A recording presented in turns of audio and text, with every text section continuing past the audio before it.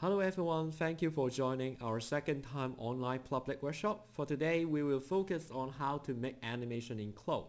We will divide it into two parts. The first part we will just demonstrate the general procedure making animation, including loading the motion and then how to use the animation mode and how to capture a brief video of your catwalk show. That is the first part. The second part will focus on some advanced technique to customize your animation. So let us start it. For this garment, it is completed, but before you make it as animation, you will have some preparation. So we can have a look on this document. As preparation, you will have several things you need to check before you start to make it as animation, including first of all go to your property editor to make sure the particle distance is in correct value.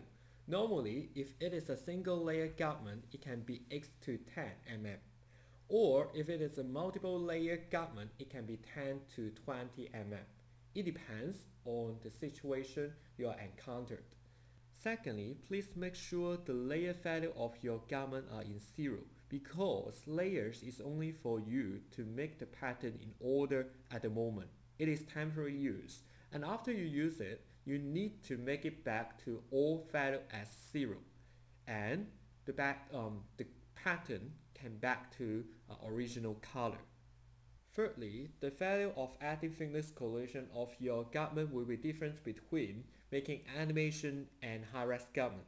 Because when you high-res the garment by the high-res garment tool, it will turn the active thickness collision to 1.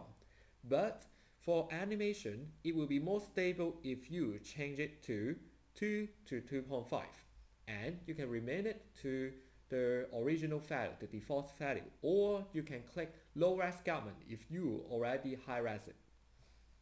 After the property editor, we can check with the fabric physical property because if the fabric is too stiff, it will be unstable when you do animation.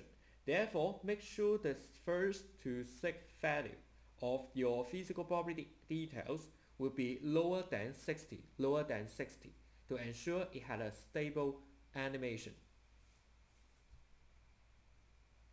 And you can go to the 3D window to check whether any patterns are in strengthen, freeze, and deactivate. Remember, those three functions are only for you to use it as temporary and supporting your 3D modeling. After you have used it, you need to turn it off as the original form. In the meantime, make sure no pin is attached to hold your garment when doing simulation. Finally, please return the simulation modes as the default one because the fitting accuracy is only used when you do fitting. And for animation, default one will be more stable. As a remark, if you think your garment is unstable when doing simulation, you can go to the 3D toolbar and use the after tip tool, helping you to hold a part of your garment stick on your avatar when the motion is loaded. For example, you can have a look on the shoulder line. I'm going to draw a line here and use that line to attach a seam line, the shoulder seam line of the pattern on it and after a turn on simulation even though a motion is loaded it will be sticked on your avatar helping you to enhance the stability when um, the, uh, the avatar is in a catwalk show.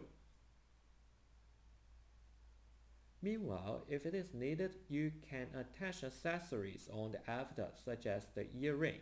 But you will find that if you load that um, OBJ file as load as trim, you cannot directly attach it on um, the avatar.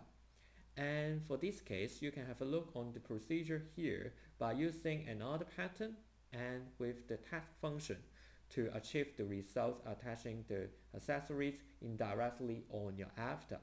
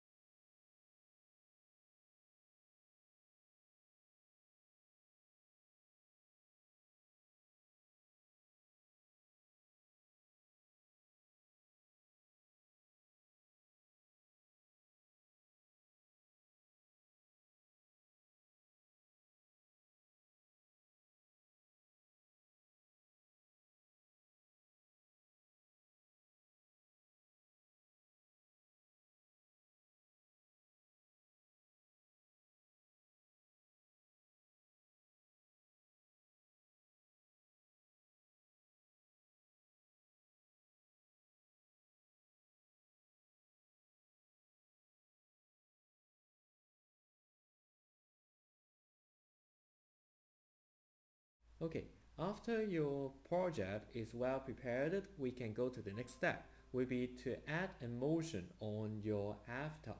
And we can have a look here. First of all, we can go to the library and go to um, the avatar.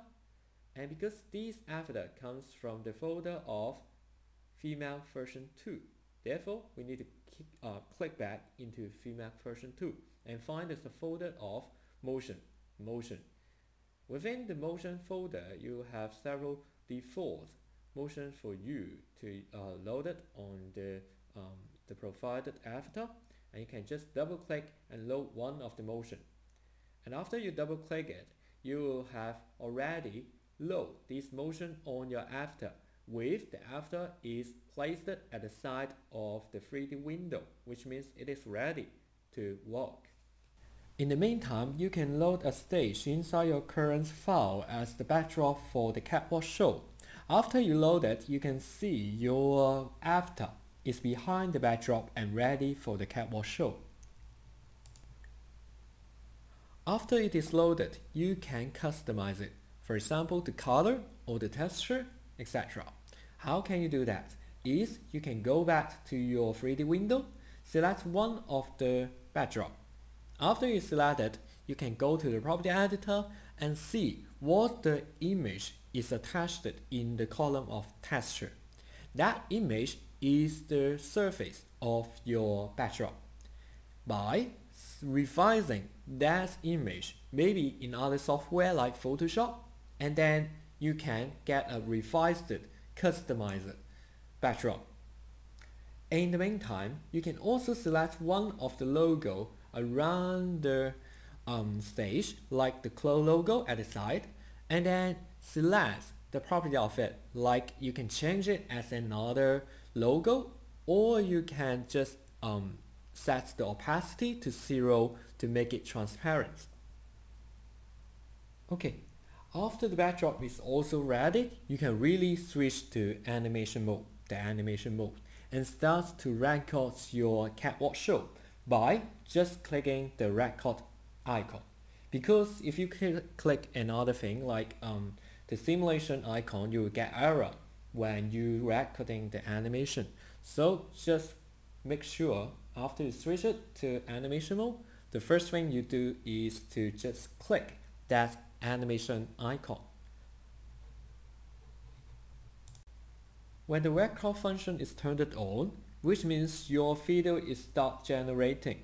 And you can have a look on your model itself. It is walking slowly from the backdrop.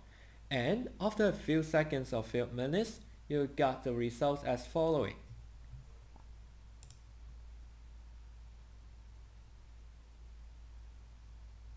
Okay, your video is completed and you can have a look here.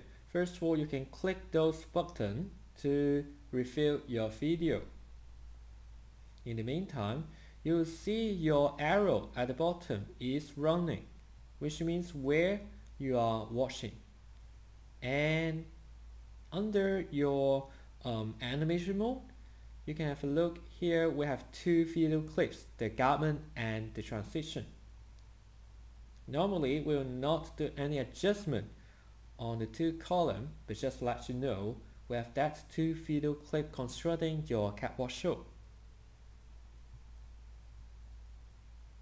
And more details are shown on the top of that two video clip, including the type of your video as real time or not, and the current time show which scene you are stopping of your video when you are previewing, and the end time show the total length of your video itself. Lastly, you will have an option of scenes time well, which means to the speed of your video. For example, the default value will be 1, which means that is a normal speed. But if you change the value to 2, your video will be much slower and then your video will be in double time. The length will be longer. You can change the display unit for details. As a remark, if you would like to make a draft before finalization of your animation, you can go to simulation quality and change it to normal defaults. it is used for drawing. After drawing, of course, you need to go back to custom as the finalization. Okay, after your video is recorded, of course, we can use render mode to render it out, but it will be discussed in the next session. And for this session, we will just focus on few more reminder. For the first reminder is how you can change it back to the original pose or to the original ground uh, assets. It's really simple. Is you just need to go back to the original simulation mode and right click your avatar and move it back to the original assets.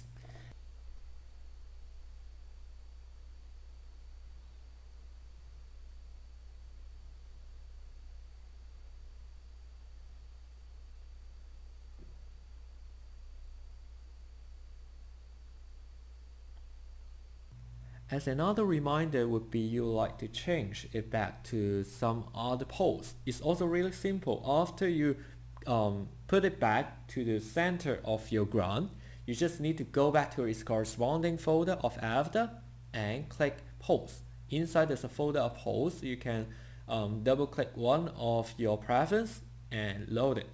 And the pose will be changed and the animation motion will be deleted deleted.